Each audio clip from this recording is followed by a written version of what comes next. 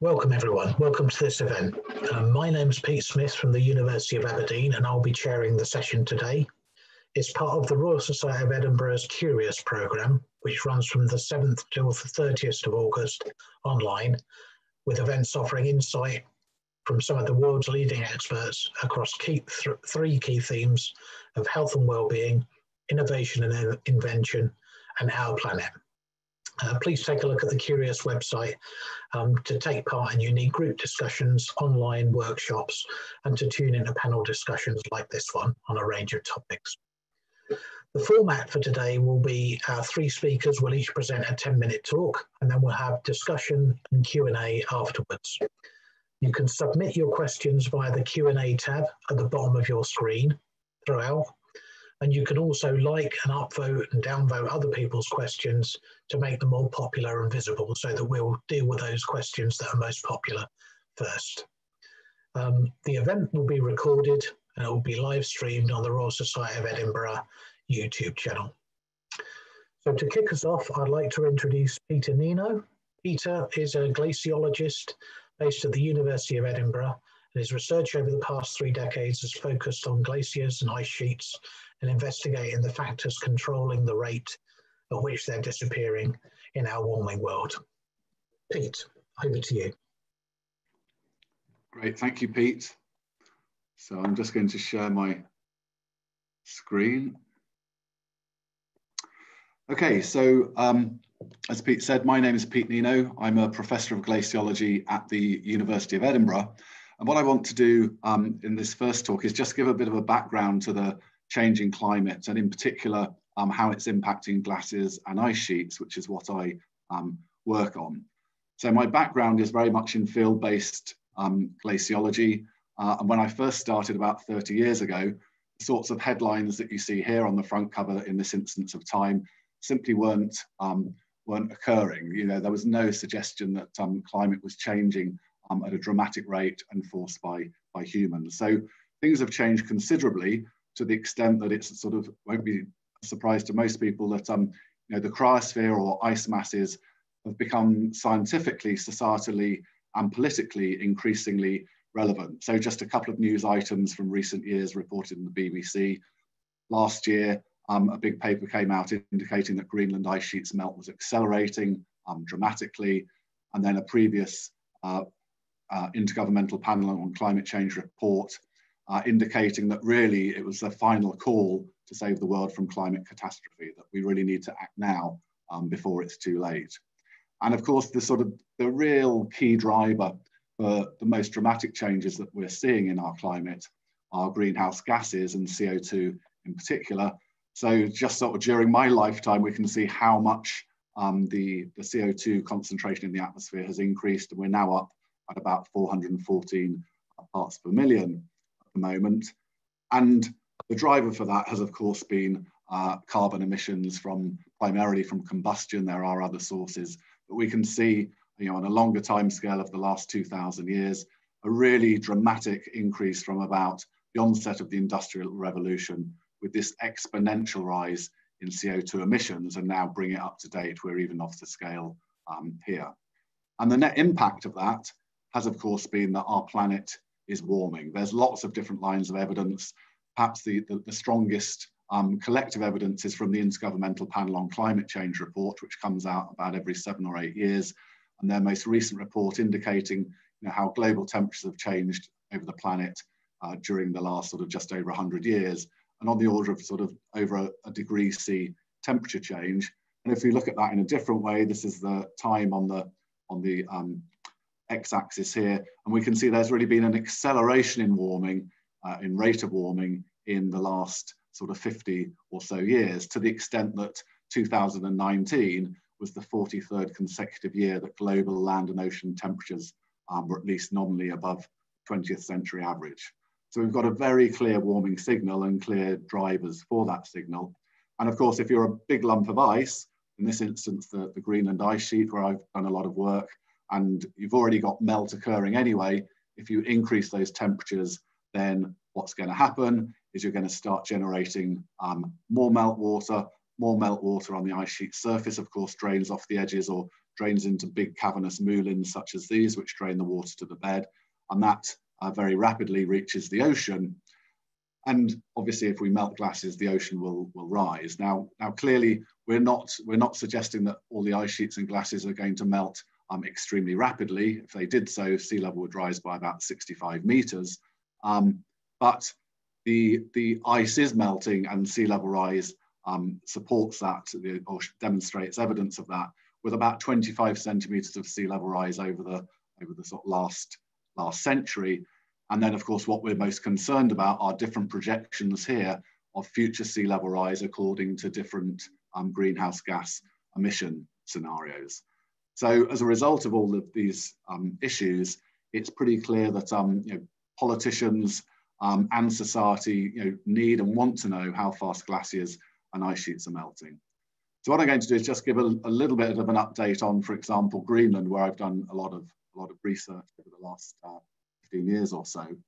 And it's clear here that the ice sheet is losing mass. So this is one of the earlier satellite uh, missions, which shows that in the sort of reds and yellows around the edge of the ice sheet, um, thinning was being observed and particularly pronounced in a few sort of concentrated places. And over the subsequent sort of 10 or so years, we've got clear confirmation that Greenland is losing mass um, due to this, you know, due to rapid thinning around the margin. And this is from different and, and numerous different methods. And well, what's driving the change? Well, one aspect is obviously pretty clear, I would suggest, which is that we've got global warming, but in particular, it's amplified in the Arctic for a number of different reasons. So that what we can see here, this is the increase in annual average temperature over the planet over about the last 60 years. Um, but we can see that it's particularly pronounced in the in the north, um, in the in the high Arctic, where warming's been of sort of two or three degrees magnitude. And you know, just one example of that is that you know earlier this uh, just a couple of months ago, the Arctic Circle saw its highest ever recorded temperature of 38 degrees in in Siberia. So obviously, if temperatures are going up, we're going to see increased melt rates and increased melt extents, and lots of different data sets show that. Just sort of one uh, thing, you know, last year, Greenland ice sheet beats all-time one-day melt record, just another indicator of the, the warming signal that we're seeing. But the other thing that's also increasing the mass loss from Greenland are the fact that we've got these marine terminating glaciers, these big glaciers or arteries that drain ice from the center of the ice sheet and this is the terminus here, this is the ocean. And these glaciers have been uh, retreating, but not only have they been retreating, they've also been accelerating. So clearly you've got a, the front of a tidewater glacier here and the fjord here. And if that glacier flows more quickly and carves more icebergs, then you're losing more ice from up on the ice sheet. And the majority of the, the glaciers around Greenland that are flowing into the ocean are both retreating and accelerating. So this is one of the largest on the west coast, Jakobshavn Isbrae, and we can see a sort of longer term retreat signal. But what we can also see is over the last, um, so over about a 15 year period, the, the ice front retreated over 15 kilometers, but it also accelerated. In 1995, the front of the glacier was going about six kilometers a year. By two, uh, 10 years later, it was going 12 kilometers a year, and another um, eight years after that, it was had moved, accelerated up to 18 kilometers a year. So these glaciers are retreating and flowing faster, so they're throwing more ice into, or chucking more ice out into the ocean, and therefore contributing to sea level rise.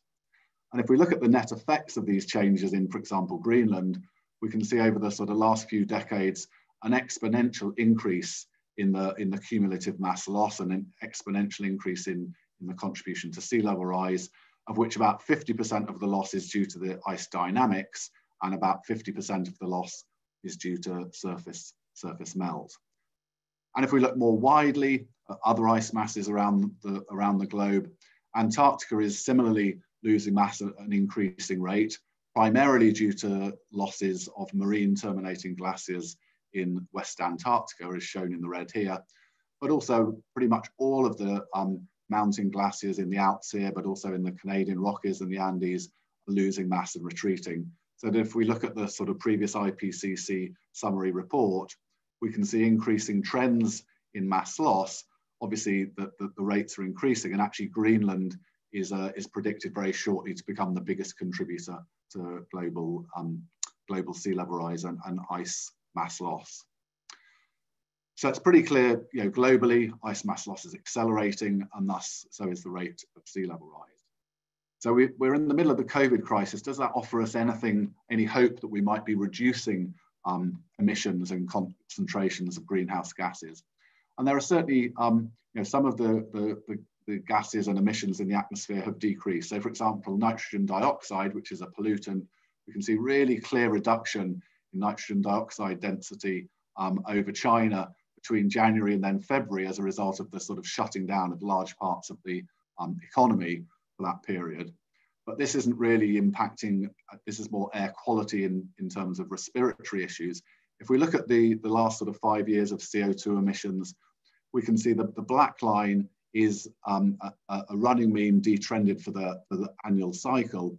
And we can see that really there's, there's no evidence that we can see any sort of clear dip in CO2 emissions as a result of COVID. So just to finish then, it was really um, I get a bit tired now that most of my presentations, either to undergrads or in public arenas like this, are, are sort of rather negative because of the impacts on ice sheets. But it's really just to say, so one of my best friends from university, Nigel Topping, is now leading the UK High Level Climate Action Champion for COP26. And I asked him what would his key take homes be if you were getting individuals to try and act. And just quickly, oops, sorry, but just to say, you know, change your car if you can, get a, an electronic vehicle, make sure that you're on a 100% renewable energy tariff, you know, get healthy and change to a flexitarian diet, use government uh, funds that are available to improve your home's thermal efficiency, and do get involved in cons conservation activities such as supporting tree planting and, and woodland expansion. Because I think Robert Swan sums it up, the greatest threat to our planet is the belief that someone else will save it and governments and big industry have a responsibility, but I think we all do as well as individuals. And I will finish there. Thank you.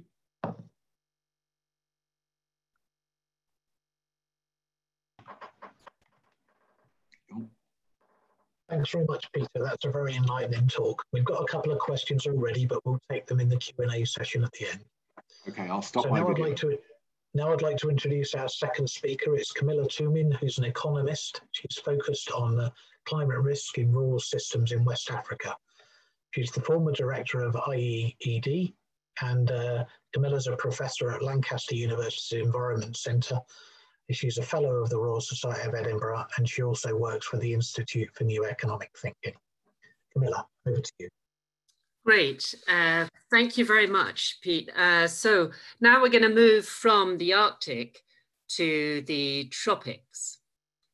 So in, in this talk, I'm going to outline what I've learned from my research in West Africa and how it illuminates the choices we need to make globally and here in our own societies, um, particularly to address climate change and to build back, back better from the COVID pandemic. I started off my professional life working in West Africa, first teaching economics in Nigeria, before years in a in a small village called Dlonguébougou in Mali. Mungo Park visited this village in 1796 on his way to find the great river Niger. During my two years in Mali, I wanted to understand how people manage to prosper in situations of great risk and uncertainty. They face uncertainty about rainfall and how much of their crop they will harvest. They face great risks about health and demography. Will they have any living children and manage successfully to bring them up? And they're also subject to great risks to do with politics and security.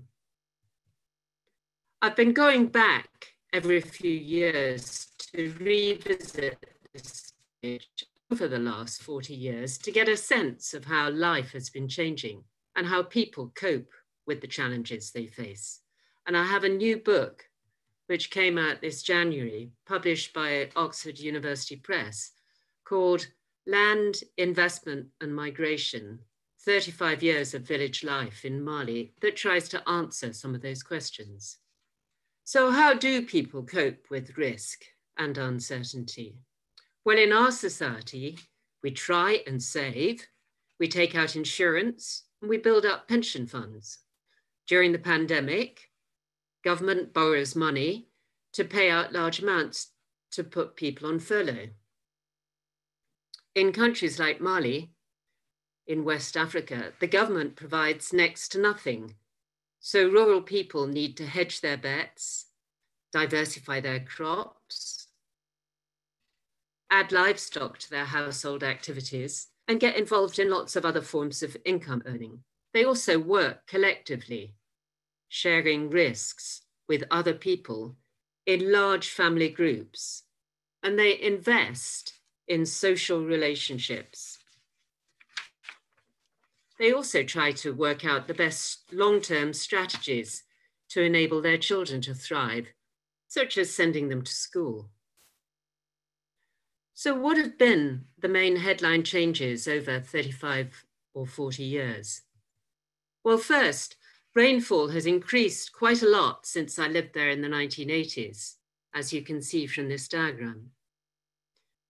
But that rain has been falling in more intense storms, often causing flooding. They got more than 160 millimeters in 24 hours last year. That's more than six inches. Millet can't swim, and so it suffers. Crop harvests have also been falling in terms of yields per hectare and yields per person which means that farming is much less viable. F families have no grain to store to get them through hard times now. So many young men feel they'd rather try and make a living in town, so they've left the village and gone to earn their fortunes elsewhere. In terms of demography, there's been a big fall in infant mortality rates. Population growth has increased to more than 3.5% per year, and people continue to live in very large households, which helps them spread risks. But everybody says they're also worried about rising individualism and consumerism. There's a competitive rivalry that means people are less and less interested in working with each other for the joint household estate. Land has also become scarcer partly because a big sugarcane plantation has been set up close by, which has evicted hundreds of families who used to farm that land. And they've all headed north and west into the area surrounding villages like Dlonguébougou. This big increase in land area cultivated has brought a shortage of pasture land for grazing and a consequent fall in soil fertility.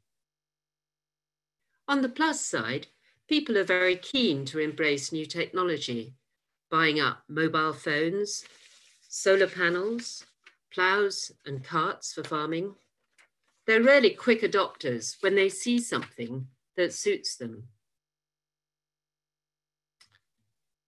Finally, the civil conflict, which started in 2012, has worsened throughout the country, with villagers caught between their utter contempt for the corrupt, self centered government and its failings, and their dislike of jihadis.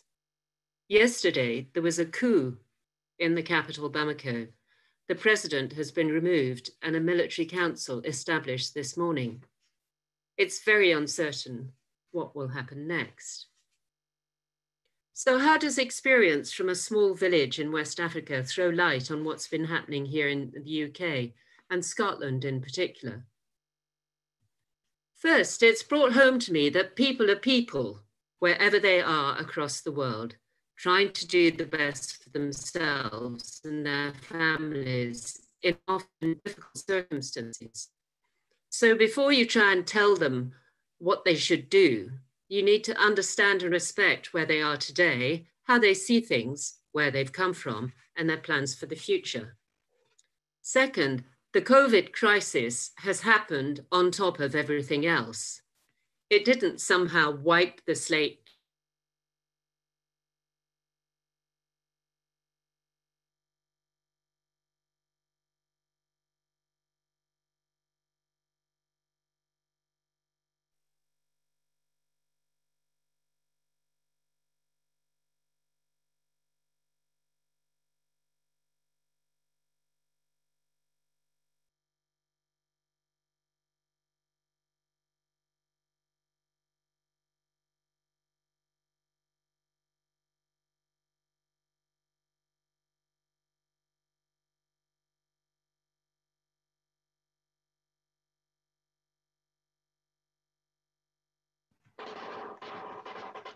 We seem to have lost Camilla for a moment. We'll just try and get her back. Bear with us, please.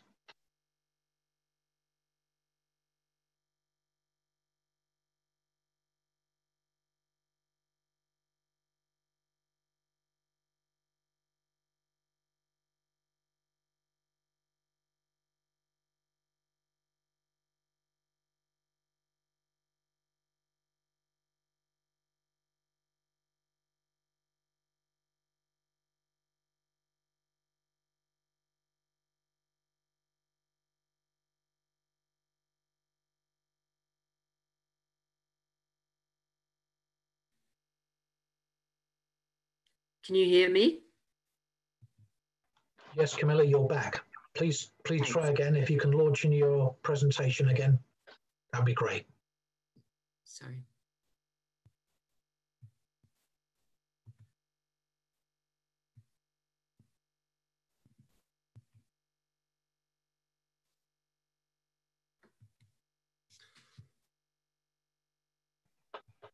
Good to go, Camilla. Great, thanks. So um, I'm a part-time prof at Lancaster University, so I spend a lot of time in northwest England, where rainfall has greatly increased in volume and intensity, bringing big floods to places like Appleby and Carlisle. In December 20, 2015, some parts of the country received more than 300% of expected rainfall. That's in the dark, dark blue parts of the map. And it started a very helpful conversation between urban dwellers who are fed up with being flooded every few years and upland farmers about the interconnectedness of landscape and territory. For example, should the hills be grazed by sheep, which increases erosion and runoff, or left to rewild with the introduction of bears, wolves, and beavers? Whose interests should count? So in terms of building back better and finding solutions to some of our shared problems, I think there are three avenues we must follow. We must decarbonise our economies and go for zero carbon, both here in Scotland and worldwide. Energy is a central part of that, with solar, solar panels a brilliant solution, if not always in Scotland, but in many places most of the time, particularly if you can supplement them by battery storage systems. Second, as Peter mentioned, Scotland has the privilege of, hoping, of hosting COP26 in November of next year. Globally, we need to agree an ambitious and rising carbon price. Here at home, we need to use the opportunity to put our own house in order, to Decarbonisation will bring losses for some parts of Scotland and the UK, for those people whose lives and communities have relied on carbon intensive activities like coal and oil. Hence, the importance of a just transition process to address head on the economic costs and political consequences of going for zero carbon. We must also find ways to reshape our landscapes, embed greater carbon, so that they become more resilient to climate extremes and flooding, better able to produce local food, biodiversity benefits, healthy soils, and healthy people. And finally, most vitally, we must continue to argue for collective solutions to address our problems over the long term. Archbishop Desmond Tutu says, the thing that defines us as human beings is relationship. And it's within relationships and communities that we become the people we're meant to be.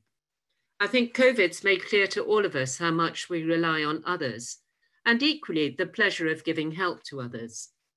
It's also made clear the need for a strong public authority, which has the credibility to constrain individual actions for the common good and invest public funds in protecting the vulnerable. Thank you.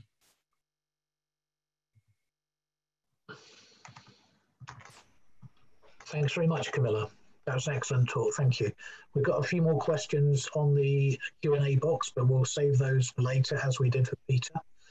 Um, I'd like to introduce you now to Elise Cartmell, who's a chemist and Scottish Water's chief scientist. She joined Scottish Water following a career in academia at Cranfield University, where she held a chair in water technology. She's a fellow of the Royal Society of Edinburgh and the Royal Society of Chemistry.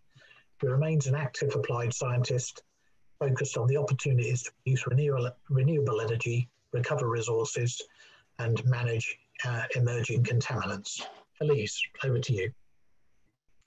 Thank you, Pete. Uh, and uh, great to be speaking to you all this afternoon. So following on from the, the Arctic, the tropics, um, I now want to talk about the impact of, of climate change in Scotland uh, for uh, our water sector uh, and also some of the areas that we're working on uh, for mitigation. So the biggest challenge facing Scottish water is uh, climate change. Uh, we've heard already in relation to the climate predictions, and I'm sure as an audience you're, you're more than familiar with this as well. Um, and we're looking in general at warmer, when, warmer, wetter winters, hotter, drier summers potentially, and that being combined with um, a significant change in, in rainfall intensity. So looking by 2050 for 30% increases from um, uh, 2007 levels uh, from in relation to weight, uh, rainfall intensity um, in the west, rising obviously as time moves on, uh, both uh, throughout Scotland in terms of uh, increasing rainfall intensity. Now, climate change, then the impacts of that on Scottish water are, are quite um, wide and, uh, and varied.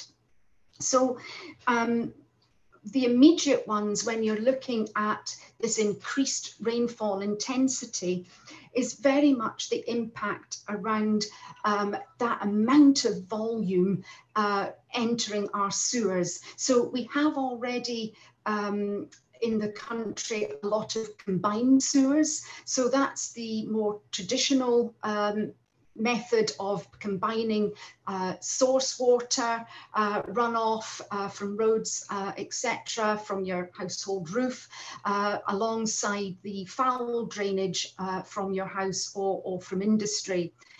And that increased percentage of rainfall intensity um, really means that uh, we have a lot more water entering our sewers, possibly 100% more on occasions.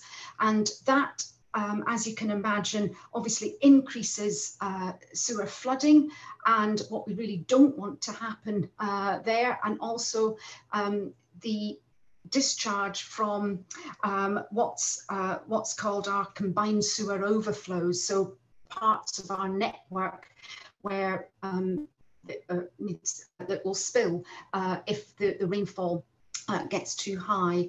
Um, so we have a number of impacts there on, um, you know, on uh, sewer flooding uh, and also in terms of then the impacts on our, our treatment works with this volume of, of, of rain of water coming through. Um, but it's not just the, uh, the, the, the sewer and the, the wastewater treatment that's affected. Also, our, our source water quality uh, is affected as well. Um, most of our um, the water that um, we all drink in Scotland predominantly uh, comes from um, uh, upland um, uh, surface sources, very little groundwater.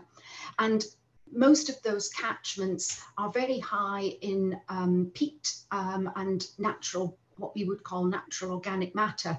And that's what gives um, the the water that you see in um, uh, lochs, rivers, etc., uh, that you know sort of uh, chocolate coloration. Um, but with climate change and with increased rainfall intensity, we are finding that a lot more of that colour, that natural organic matter, also a lot more potentially of the pesticides, etc., are being washed out of the catchments, especially if the catchments uh, have been maybe eroded, some of the peatland uh, catchments. And that uh, potentially impacts the quality of water we're supplying uh, for our customers and also is causing potentially more carbon to be used in the, the treatment uh, of, of that water. So we do have a number of issues around the source water quality, um, also the water supply. Um, you may think it rains a lot in Scotland, and I've just said it, it, there's increased rainfall intensity, but we do actually have areas of Scotland where we are um, experiencing uh, drought conditions on occasions, and that's increasing, um, and also in particular um, issues surrounding water supply to, to some of our, uh, our islands. Um, so again, uh, with the predictions of uh, warmer, drier conditions in the summer, the predictions around uh, water supply um, are, are, also um, uh, impacting there. So there are a number of um, areas which are impacted by climate change uh, for us uh, in, in, in Scotland. So we must do something about this. We really rely heavily on um, the ability to deliver our services on the natural environment. And we must therefore adapt um, our approaches to how we manage climate change and secure the, the future reliability and sustainability of the country's water uh, and wastewater services. So we must adapt um, our services to deal with climate change. Yes, of course, we need to do that, but we also must eliminate greenhouse gas emissions that are contributing to the climate emergency. And we have a commitment to become uh, net zero by 2040. We are an emissions intensive business and that does result in our carbon emission footprint being quite large. What you have on the screen uh, here is our operational uh, carbon. And as you can see, a lot of that is associated with the electricity we're using to treat water, to pump water, uh, and the same with the, the wastewater uh, treatment and, and, and pumping uh, as well. Um, but as the grid um, becomes um, greener. Uh, we're using more renewable electricity. We're also producing more electricity. The emissions which are associated with our processes, which is the 17%, you can see here, they will become increasingly uh, important as well. And those emissions are things like nitrous oxide, uh, which are byproducts of some of the biological treatment we use uh, to treat wastewater, uh, for example. But it's not just our operational carbon. It's really important that we also look at the carbon associated with our investment decisions, uh, i.e. the, the, the um, uh, the treatment options, the networks, uh, the concrete uh, and the steel, etc., uh, that, that, we're, that we're building. If we just looked at operational emissions um, in sort of carbon accounting practices, it would potentially be relatively straightforward for us as a business to achieve net zero emissions over, say, the, a 20 year period. Um, as then we would look at um, operational emissions which are in our, our direct control, um, and we'd overlook um, carbon emissions which are associated with you know, our, our capital investment programme, or indeed emissions which are associated with our supply chain. So with this in mind, we would be able to potentially achieve um, net zero uh, by working to provide our um, our own electricity, increase renewable energy generation, uh, etc. But to be honest, that would completely miss the point. Um, and climate change is a real threat. We've, we've heard from the other uh, speakers, you yourselves know, uh, and I'm sure appreciate this. Um, and we've got to therefore pursue uh, net zero emissions, not just from our operational carbon, uh, but also we've got to try and do everything we possibly can to minimize emissions associated with our all of our ac activities and also maximising the contribution uh, we can make regardless of whose carbon uh, it's associated with, whether it's ours or our, our supply chain. So that's why we want to look beyond our operational emissions, which are under our control, but also include in our net zero target of by 2040 emissions which are associated uh, with our investment um, area. So another area of emissions that's in, important to, to raise is also the carbon emissions which are associated with water use uh, in the home. So about 6% of UK carbon emissions uh, are associated with the water industry, um, which is roughly equivalent to the aviation industry, though I appreciate not currently. Um, and about 1% of those emissions are from the treatment and transport uh, of water and, and wastewater to our customers that I've outlined. But about 5% of the emissions are actually associated with the use of water in our home, and in particular, the, the use uh, um, of heating up of water uh, in the home. So saving water saves energy and, and therefore carbon, um, both to heat the water and also there to treat the water. Uh, so again, saving water is really an important aspect to, to also uh, look at. So in terms of what we've been doing, um, we have been making considerable efforts. I appreciate, I know it's not enough, uh, and I know we've just got to keep going. Uh, you know, time is marching on, and I've seen some of the, the sort of comments in the Q&A, totally agree. Um, we have since uh, 2007 uh, had a 45% reduction in our operational emissions by reducing leaks and through the use of solar, hydro, wind power, uh, etc. Um, and also COVID uh, incident has also provided a real turning point for us. Uh, and as the other speakers have mentioned, you know, how can we build back better uh, from, uh, from the COVID situation?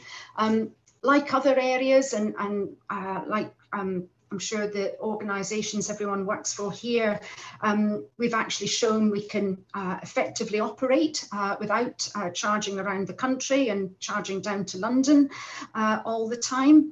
Um, but for us, it doesn't, uh, that reduction in travel um, for, has also shown that for us as a sector, it's not just the home working and the reduction in business travel, but also we've managed to accelerate the remote operation of our treatment works. And we've also managed to accelerate um, uh, use of body cams and all that other types of technologies to avoid site visits and all that, uh, that type of thing. Um, we've, we've also managed to just get better working practices and better partnerships with our regulators. It's amazing when you're in this type of environment when you realize just what's important and what things you're doing which can create carbon emissions, which actually we don't need to do. Uh, so we have managed to really uh, prioritize and improve uh, based on our learnings from COVID so far to again reduce our emissions. But going forward as well, we um, to achieve our ambitions, we're accelerating becoming more energy efficient, uh, using lower carbon energy products, uh, embracing low carbon construction. And I know, appreciate more controversially, uh, we are looking to um, store the um, emissions which we cannot uh, reduce. So that's our, our process emissions, which are complex to, uh, to, to prevent. Um, so just uh, before I finish, a, a couple of uh, examples. Um, this one um, is something I'm always particularly interested in.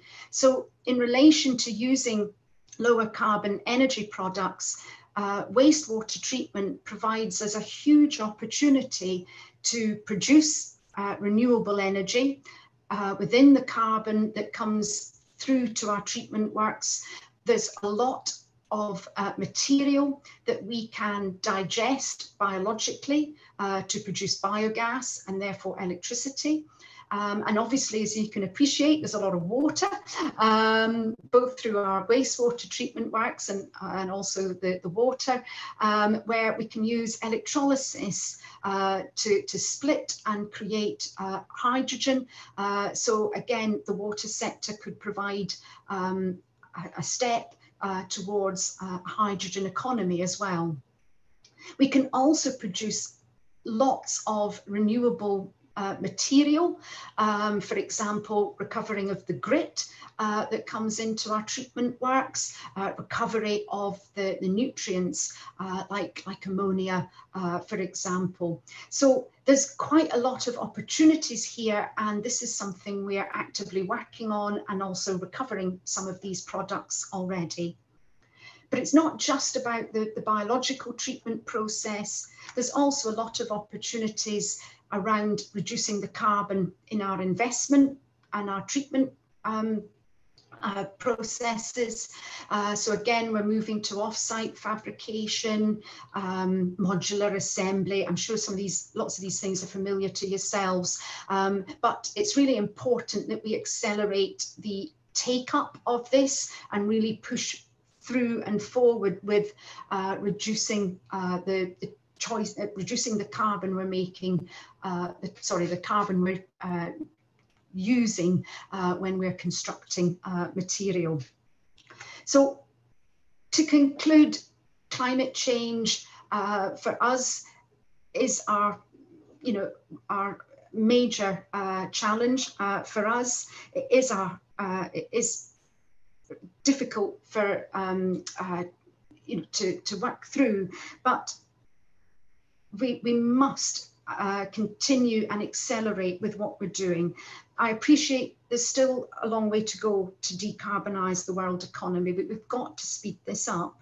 And we can, as individuals and also as a water sector, make sure we are contributing to ensure that we are on the right path uh, to limit uh, the temperature rises. Um, and I hope I've shown you a little bit about how uh, we can be doing that together uh, with um, as the water sector. Okay, thank you.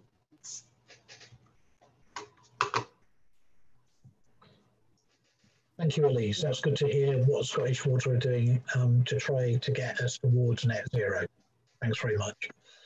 Um, so we now move to, if all the panelists can unmute and share your screens now, we'll move on to the Q&A session. Um, so I'd like to kick off. I'll start looking at the uh, start looking at the ones that have been upvoted. So let's take the the first one from uh, Roisin Calvert Elliott. I understand the new climate and ecological emergency bill has been written by respected climate, energy, and ecology academics, aiming to bring urgent action on the climate and ecological crisis in the law. It needs a majority of MPs to vote in favour of it before being passed to make it happen. Do the panellists have a view on this? Do they think it will enable the urgent action that's needed? If so, can we, the public, do anything to influence our, uh, our MPs to make this happen? Would like to take that one first. Camilla. Well, good, interesting question. I think um, the most important thing is to tell your MP that you think this is a really important issue and you want him or her to vote in favour of its passage. I, I was surprised the other day talking to somebody in politics who said, well, actually, you know, we don't actually get much pressure from our constituents on environmental issues. And so I think it really, we must, if we're interested to make change, join a campaign, write letters, get your MP to know that this is something that you and many of your, your fellow constituents really care about. So mobilize. Peter, anything to add? The only thing I, I, I totally agree with that, and I actually um, I only yesterday got a letter back from my local MP about um, issues to do with overfishing um, in marine protected areas, and I was actually well, I was encouraged by the response, but it did also make me think that actually, you know, I've generally not written to my MP about anything, and and clearly, if we do want to sort of try and make uh, an impact as individuals, we all do need to act. So whether it's in terms of our own individual behaviour, but in relation to this, um, you know, really putting pressure on MPs, then then I think we should. And when we and we note that for example, issues to do with Brexit, MPs were talking about what their local constituents wanted, um, sometimes irrespective of their own views. So I do think you know, we have a responsibility to try and, uh, and communicate with our own individual MPs. And if there's a weight of um, a weight of body um, doing so, then at least there's a, a chance of, uh, of, uh, of impacting their, their views and opinions. And ultimately, they do want our votes. That's you know, that's why they're in politics. Thanks. Thanks, Peter. Elise, anything to add? Um, yes, I, I uh, obviously I think very much I'd go go with that um, approach. I'd also say um, to make sure your your views are always uh, heard around the importance of the environment and the need for action on climate change. Um, last year and 2018, we did a, a, a significant uh, customer uh, engagement work as we were developing our, our new plans. And we talked to tens of thousands of people. And to be honest, a lot of the feedback we got was not um, associated with um, use of Scottish water to mitigate and have a, a strong leadership position in the environment. Um, a lot of the feedback we got was that um, this wasn't important for people um, which we were surprised about. Um, so I think it's really making sure that we, as an individual, as a customer, as a constituent, uh, we say, look, look, this is the most important thing for me. We've got to do something about it. Um, as then um, there's more of a mandate. So for us in Scottish Water, if we'd got more push uh, we would have had more of a, a, mandate to, to really drive this forward. We're driving it forward anyway, um, but we, you know, um, because it's it's the right thing to do. Um, but you know, to get that push from people really does help accelerate things. Okay, thanks very much. Let's take another question. Um, this one's from, um, please excuse my pronunciation if it's wrong of your surname, Rosanna Rabase and it says, I think you're probably preaching to the converted here. This is not news to us, I'm afraid, although the scientific facts are endlessly shocking every time they are presented. What can we do to make global leaders take action? Question mark. What will make the fossil fuel companies leave it in the ground? So how do we move from presenting the science towards making real action and leaving the fossil fuels in the ground? Would anybody, anybody like to take that?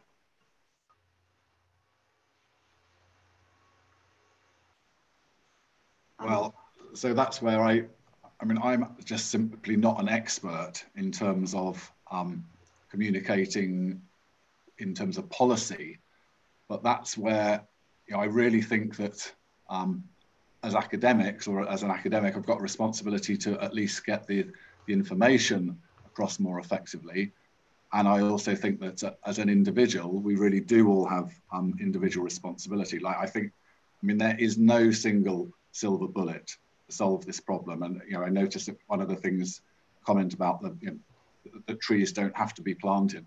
My kind of sense is that what we've actually got to is we've got to tackle all of these different um, different problems in a, in a multitude of different ways. But in terms of sort of dealing with um, dealing with the sort of the politicians, that's where my hope is that individuals such as my friend Nigel Topping, who's involved in COP26, it's, it's key climate change champions who are ultimately the ones who've got the ear of the government. Um, and I think it's the responsibility of, of leaders of in that position who have got the biggest potential, um, biggest potential influence. But I'm afraid I, I certainly know as an academic, I've found it very hard to try and get the ear of policymakers in, in government. But perhaps uh, some of the other panelists, including um, Pete, might have a different view on that. Thanks, Peter. Camilla. Um, yes. I mean, I think sort of 10, 15 years ago, we, certainly those of us working in the whole climate field, uh, had huge hopes for what the UN multilateral process could produce. And I think we were all uh, deeply disappointed, particularly by the Copenhagen summit back in 2009, when it was clear that that kind of top down target driven way of trying to bring down carbon emissions wasn't going to have the, the sort of the, the speed and the, um, the grip that we might have hoped for. Um, so I think, you know, there's a lot more now. Um, people now realize that we need to do lots of things at the same time, top down, um, government led work, but also work at city level, trying to encourage those businesses that are wanting to take the lead. Um, and also trying to flag clearly that a lot of low carbon options are frankly a brilliant investment so that things like solar and wind power are actually generating electricity um, at a price significantly below many of the fossil fuel options. So that what we need to be doing is to try and sort of accelerate the disappearance of, of those fossil fuel pr producers. And that's essentially, it's a political thing rather than a technological thing. Um, and so I think yeah, finding finding allies and interest groups within the political classes who who clearly understand that and can can help speed that process of disappearance is what needs to happen. But there'll be a hard struggle. We're nowhere near um, winning all of those arguments because it's not about technology, it's about interests. Elise, anything to add? Um, yeah, just add in terms of um, what will make fossil fuel companies, you know, uh, leave it in the ground, don't use it um, as an individual or as a company, um, and that they will then in turn um, make global leaders take action. So uh, in our our company, I know it's not going fast enough, but our pool cars are now electric. Um, we generate more renewable electricity. We're moving to also in terms of grid electricity, uh, renewable green tariff only next year. Uh, so we, we just need to make sure we're absolutely minimizing um, the, the, the, you know, the fossil fuel um, uh, you know, products as, as much as possible. And that we can do now. Uh, so the, the more we can do that, as I said, as individuals and as organizations, uh, the more the global leaders will, will take note and obviously, um, you know, uh, will will start to uh, to move hopefully faster than they are doing uh, in relation to, to leadership and policies in these areas. Very much. We've, we've only got time for another one more question before we need to close. So I'm going to take two that are um, uh, related. So one is about what can bodies like the Royal Society of Edinburgh and other bodies do that to raise awareness, uh, especially on uh, individual behaviours, particularly via STEM engagement, so science, technology, um, and mathematics um, engagement. And another one that's related is um, Scottish Water have learned a lot of lessons. Is there a network of organisations where that su successful carbon reduction practices can be shared, so that um, so that other companies can use that sort of similar template? Is there a network of um, other companies that are trying to achieve net zero. Elise, that one to you. Um, so yeah, there are a number of informal uh, networks, and obviously we are um, we're a, we're owned by the, the Scottish government. So um, we obviously work uh, closely again uh, within the network of uh, Scottish Government organisations as well as SEPA. So yeah, we're not doing this uh, alone because we can't actually achieve any of this alone. Um, and we are you know, needing uh, to work with others to, to achieve that. Um, an area where we need to get better networking is with the agricultural sector. Um, but, um, you know, uh, that we certainly are you know, there are networks uh, around there, uh, but there needs to be more, more of that. And then we need to back that up with funding that will really uh, support partnerships of peatland restoration, for example, uh, and really join up the funding with these organisations as these networks so that we can make more of a difference. Thanks, Elise. Um, uh, Camilla and then Pete, anything on the what can we do with STEM engagement uh, to well, um, improve awareness? Camilla. I was just going to highlight uh, one of my slides, which threw up um, a slide about the just transition process, because I think um, we're, we're going to be in the same position in 10 or 20 years' time until we understand and address the politics and distributional consequences of the energy transition that we need to make. The just transition process, which has been launched by the Scottish Government, is trying to make sure that as we make that energy transition, we don't leave particular groups behind. And it's those groups left behind that can very often create, not surprisingly, the sort of political resistance to these changes. So flagging up the work of the Just Transition Commission is, is really key um, in helping other places also uh, try and address this critical problem, which is behind uh, you know, the rise of people like Donald Trump. Peter, the last word to you. Make it good. Well, I, am not sure it would be it would be good, but one thing I I think that the Royal Society of Edinburgh could perhaps do is um, a better and more interaction actually with popular social media platforms. I suspect, in part due to the sort of demographic of a lot of the Royal Society of Edinburgh members, that we're perhaps not as engaged with that kind of material um, as we as we should be.